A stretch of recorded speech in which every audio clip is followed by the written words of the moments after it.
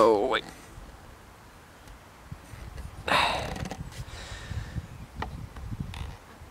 So this is kind of interesting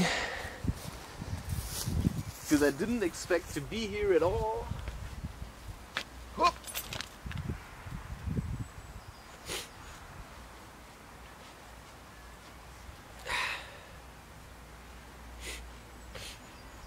So, the love of my life is a woman that ran away from me. What do you do? Quick answer. Maybe you just keep mentioning her without really mentioning her. Because I think she would hate it if I would say her name. Plus, I want her to know herself that it's her. Right? Because if I mention her, she should know it herself that it's her I'm talking about. And it just takes a lot of patience to wait for a woman like this. Because, of course, you have to work with your fear.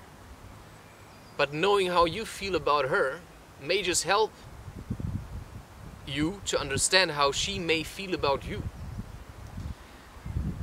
And it's all about patience. Patience and patience and patience. But most of all, making the decision that will bring you closer to that person or to that goal, whatever it is. You know, it may be a wife, it may be, you know, a vision of yourself or of a place where you want to be. And you just always try to keep focus on that place or on that vision that you have that feeling. And you hold it inside. You don't talk to people about it. Like, you may say that there is a goal that you have, but you don't share details about it. Because they will ruin it for you. Because you're gonna say something like, ah, oh, yeah, maybe this and this person, right? And then they're gonna tell you stuff like, yeah, forget about her. Or that's impossible. It's like when I tell people how I intend, you know, to earn a living with this kind of work, and they say, no, that's not enough. You know, you should do something else. You know, come and work for me. Yeah, sure. That you can suck me dry and give me jobs and uh, leech off my good mood. Because that's what people do. They see you have like a good mood and a positive attitude, they will use you and they will suck your energy if you make it easy for them. And that's why, yes, you could say I ran away from home right now because I needed to have a change of scenery. And now I can go back and feel good about the day I just spent, the slacklining I did, you know. Now I could have, now I probably gave 10 people or 15 people a smile if I would have been with my dad, you know, he would have just drained me and I would have been empty afterwards. Because he just. Right? It's like a man in the desert. Only instead of water, he sucks your love. And I can't do that. I mean, that's what he, why he has got a wife for. She has, it's her job.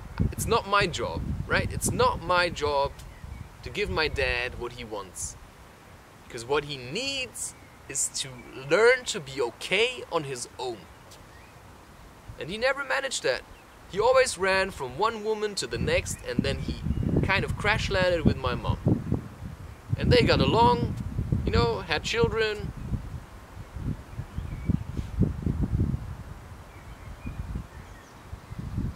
And then you see parents and they leech off of their children already. Like they don't have any motivation to play with their child, but you know, they like the kind of the good mood. They just want to have like the child cuddle with them.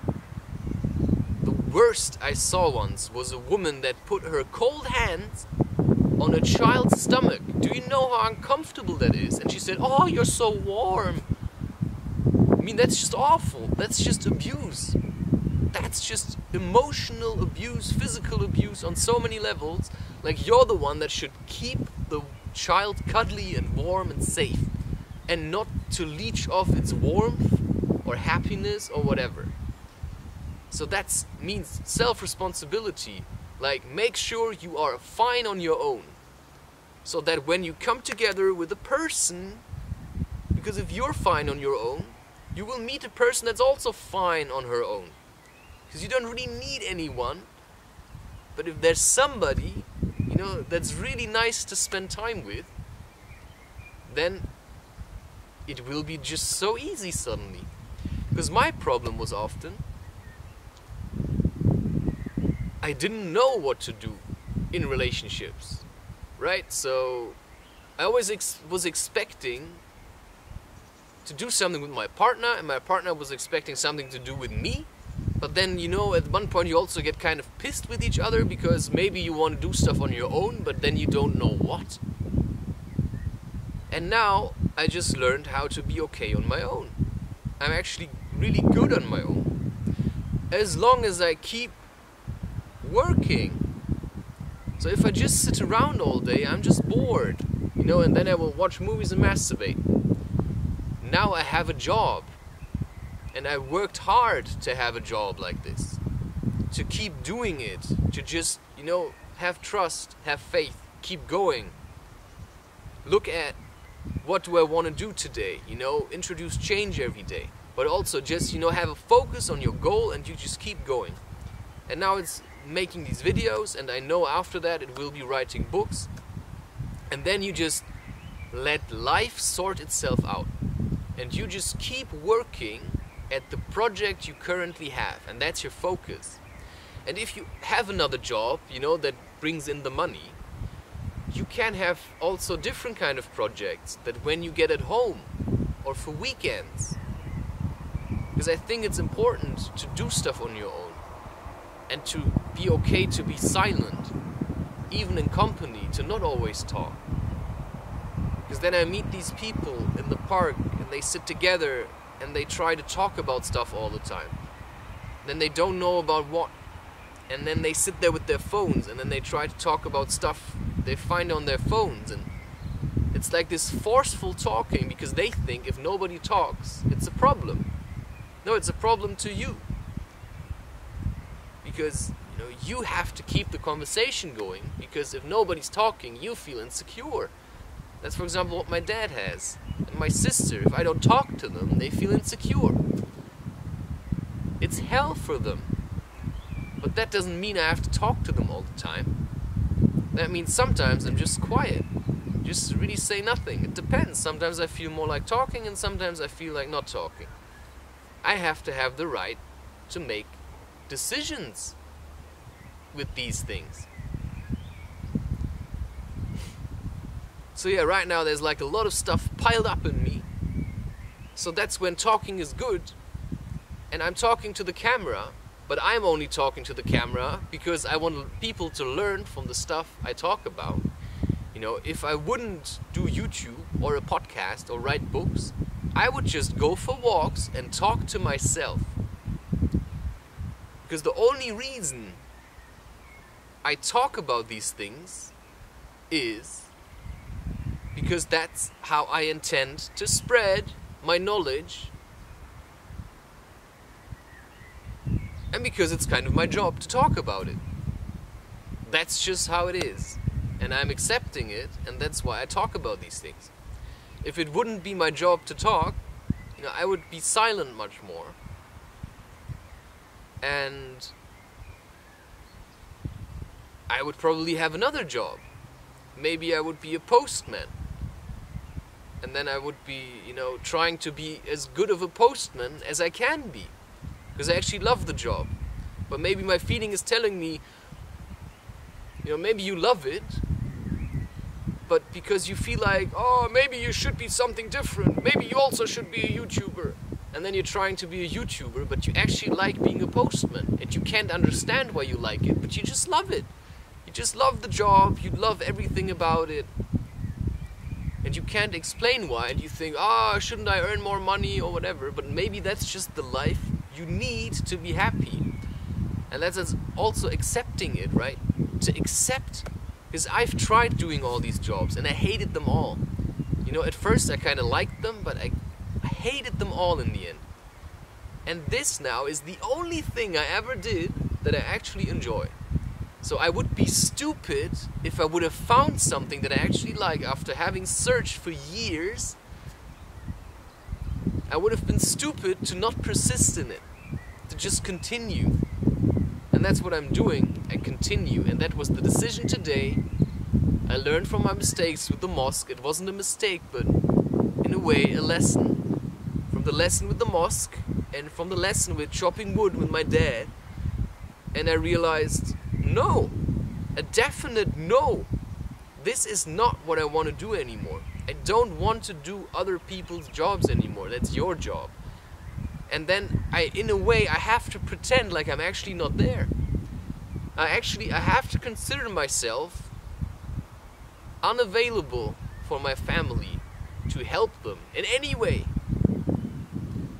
other than the way that I sometimes feel like I help, right? Like sometimes cooking food and cleaning the kitchen. You know, that's the help that I can offer. Anything else, do it yourself. Do it yourself. And that's just like some really firm boundaries. And they try to wiggle around it, and as soon as you give them one speck of like, you know, weakness, where you feel a bit bad for your dad, and then he's got you already you know, and then he sucks your energy, and then you, you know, he doesn't give a shit if that drains you because he doesn't understand it. And he also doesn't try to understand it. He doesn't want to understand it. He can't understand it.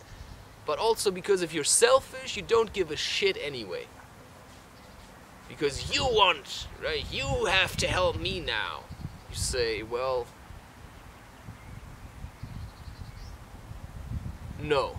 well, I don't like that. And that shows then their true face, right? They play the victim, and then they expect you to help them, and maybe they act a bit like nice, but if you don't help them, suddenly, you know, they don't like you anymore. Well, then, then they never liked you in the first place. Well, that's actually wrong. They never liked themselves in the first place. Well, probably when they were born, but then somehow along the way they started hating themselves and everybody else. So you're just, you know, projection. You're just a mirror for them.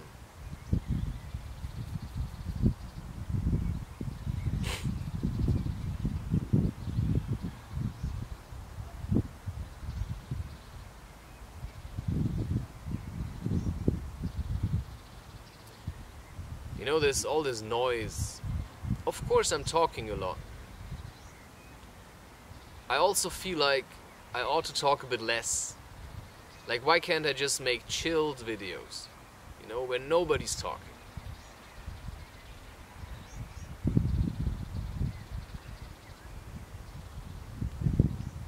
Because I believe that if you come to my channel, it's not just about chilled videos, because I did already, you know, I do some of these.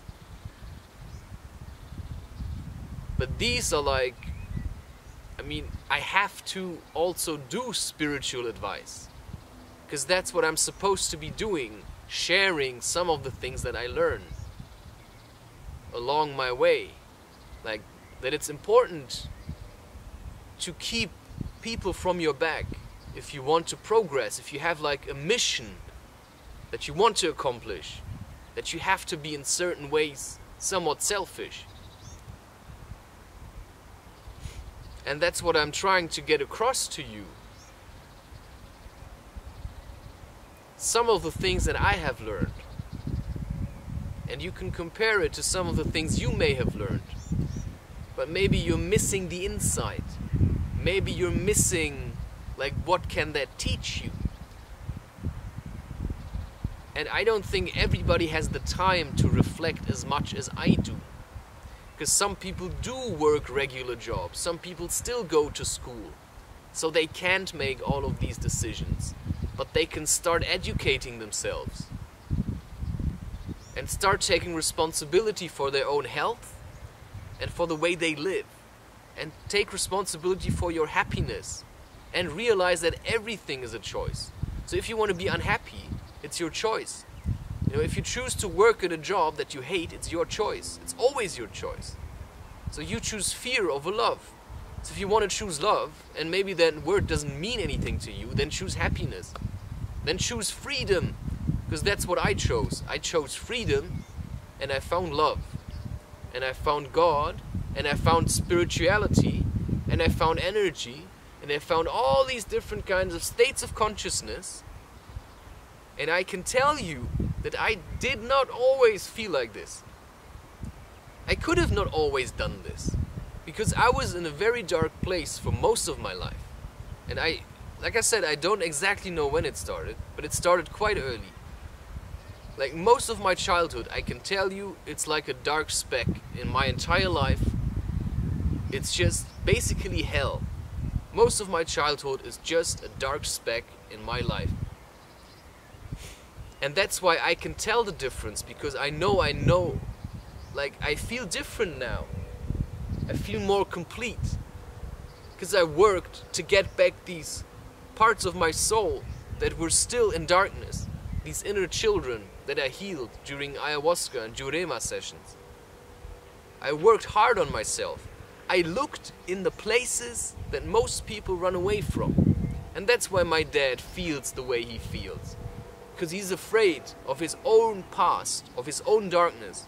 He doesn't want to look at it, so he always talks about like materialistic things because his emotions are too terrifying for him. And that's the thing. If you think about it, it's terrifying. But when you actually just do it, you realize actually it wasn't that bad. You know, I was just afraid of it because a part of me was afraid. But then you choose bravery and courage and love, and you realize actually, this is how nice it can be. And then you suddenly start seeing like faces in trees, and you realize, holy shit, like the whole world is alive. Why does never nobody ever talk about that? Because that's a different kind of reality. This materialistic reality, the one that science creates, that's just bullshit. It's just what they tell you so that, that you can work your butt off. And live like an animal. And grovel in your own dirt. But then don't complain to others about it because it's your choice to live like a pig. Uh, to live like a dog or whatever. You know, if you want to live like a dog and be bored and frustrated when you're alone, and then wag your tail as soon as somebody comes like you know you can be like this when you're alone. You have to train that. You have to work on it. You have to suffer through hell. You have to dive into this shit. And then you see what the universe comes up with to give you paradise. And that's just how it is. Like take it from me. Like that kind of wisdom Nobody talks about that shit. And it's not shit. It's like really genuine stuff. And I've discovered it. And I made my experiences, and that's the most important part. Make experiences. And it's not like easy to do that. No, you have to struggle through it. It's hard work. It's really hard work because you have to undo all the shit you've been told, and that's really shit. Like all the lies you've been told, what the world is, what you are, all these beliefs that just serve the industry.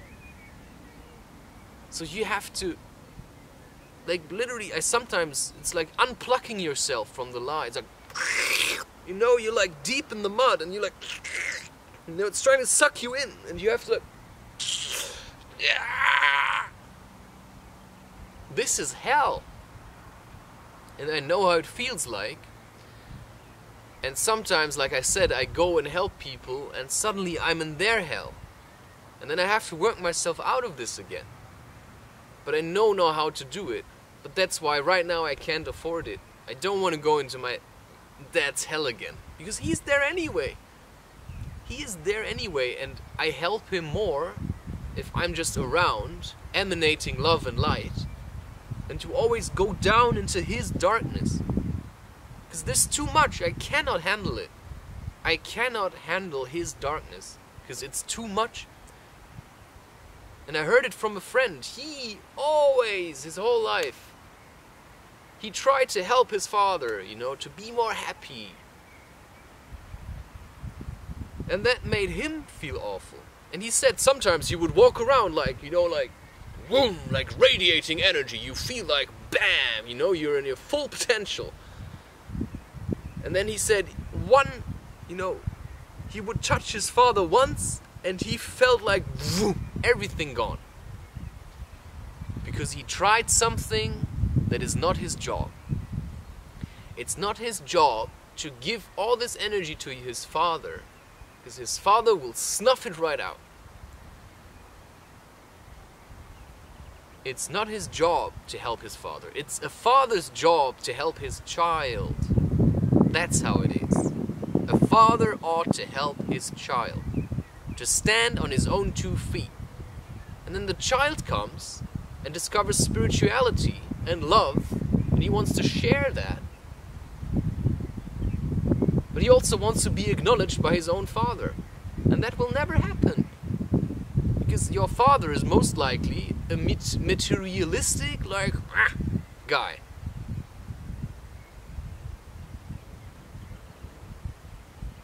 And to him, you're probably weird, you're probably crazy, you know, you're like with your head in the clouds. Well, you know, that's just me. And if he cannot accept that, well, that's his problem. I just have to work it out for myself. I don't want to leave this place. It's awesome. Like, it looks amazing. Who wouldn't want to be here? It's kind of fresh, you know, I feel the wind on my legs, but I actually feel quite nice. I mean, I was feeling, my room is a mess. I should clean that. But I was just laying there and I was, you know, sleeping. And I said, fuck you, you know. You're not gonna eat anything, you're not gonna drink coffee and force yourself to work on your laptop. No, you're just gonna walk and do the stuff now, go outside, and then you're gonna go back in the evening, you know, dress a bit warmer, and then you record one of these paintings. And I was already looking forward to that because such beautiful weather, why wouldn't you be outside?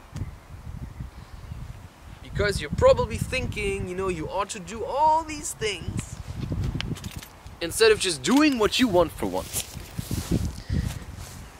And I like it I have the time, I record videos, and you know, it's important to do that.